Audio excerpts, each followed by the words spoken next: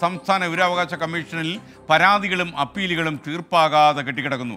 അറുന്നൂ ആറായിരത്തി എണ്ണൂറ്റി നാൽപ്പത്തി അഞ്ച് അപ്പീലുകളും പരാതികളുമാണ് തീർപ്പ് കൽപ്പിക്കാനുള്ളത്. കമ്മീഷന്റെ പ്രവർത്തനത്തിലെ വീഴ്ചകൾ തെളിയിക്കുന്ന വിവരാവകാശ രേഖ ട്വന്റി ഫോറിന് സൂരജ് സജി തൃശ്ശൂരിൽ നിന്നും ചേരുന്നു. Sooraj good morning. വിവരങ്ങൾ.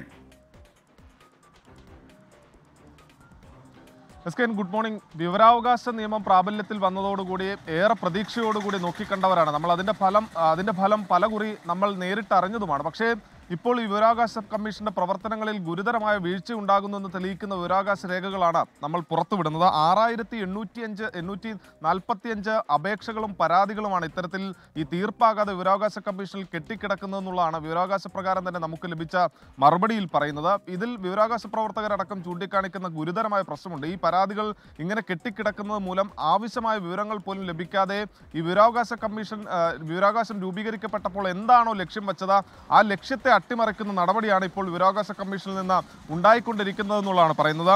ഇത് സംബന്ധിച്ചുള്ള രേഖകൾ പരിശോധിക്കുകയാണെങ്കിൽ രണ്ടായിരത്തി പതിനെട്ടിൽ എഴുപത്തിയഞ്ച് രണ്ടാം അപ്പീലുകളാണ് തീർപ്പാക്കാനുണ്ടായിരുന്നതെങ്കിൽ ഓരോ വർഷം ചെല്ലും തോറും ഇത് വർദ്ധിക്കുന്നു. രണ്ടായിരത്തി ഇരുപത്തിനാലിലേക്ക് എത്തുമ്പോൾ ആയിരത്തി നാനൂറ്റി തൊണ്ണൂറ്റിനാല് പരാതികളാണ് ഈ രണ്ടാം അപ്പീലുകളാണ് കെട്ടിക്കിടക്കുന്നത്. പരാതികളും സമാനമായ രീതിയിൽ കെട്ടിക്കിടക്കുന്നു.